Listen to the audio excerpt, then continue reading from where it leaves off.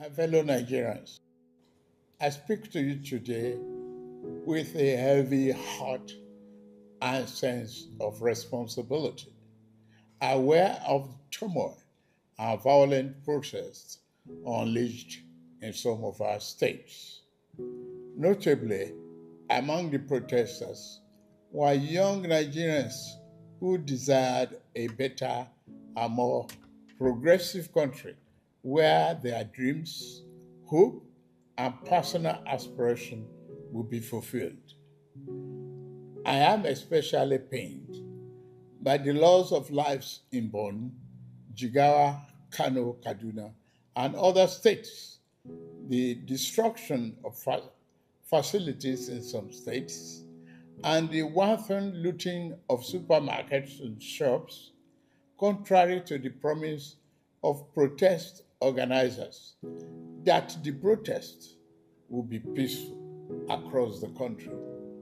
The destruction of properties set us back as a nation, as scarce resources will be again used to restore them. I commiserate with the families and relations of those who have died and the protests. We must stop further bloodshed, violence, and destruction. As the president of this country, I must ensure public order in line with the constitutional oath to protect the lives and property of every citizen. Our government will not stand idly by and allow a few with a clear political agenda to tear this nation apart.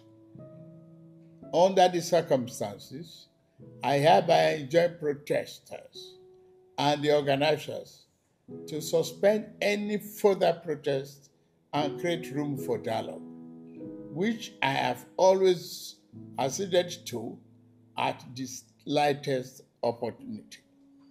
Nigeria requires all hands on deck and need us all, regardless of age, party, tribe, religion, or other divides, to work together, reshaping our destiny as a nation. For those who have taken undue advantage of this situation to threaten any section of this country, be warned. The law will catch up with you. There is no place for ethnic bigotry or such threats in the Nigeria we seek to build. Our democracy progresses when the constitutional rights of every Nigerian are respected and protected. Our law enforcement agencies should continue to ensure full protection of life and properties of innocent citizens in a responsible manner. My vision for our country is one of a just and prosperous nation where each person may enjoy the peace, freedom, and meaningful livelihood that only democratic good governance can provide. One that is open, transparent, and accountable to the Nigerian people. My dear Nigerians, especially our youth, I have heard you loud and clear. I understand the pain and the frustration that drive these protests. And I want to assure you that our government is committed to listening and addressing the concerns of our citizens. But we must not let violence and destruction tear our nation apart. We must work together to build a brighter future where every Nigerian can live with dignity and prosperity. The task before us is a collective one, and I am leading the charge as your president. A lot of work has gone into stabilizing our economy, and I must stay focused on ensuring that the benefits reach every single Nigerian as we promised. My administration is working very hard to improve and expand our national infrastructure and create more opportunities for our young people. Let nobody misinform and miseducate you about your country or tell you that your government does not care about you. Although there have been many dashed hopes in the past, we are in a new era of renewed hope.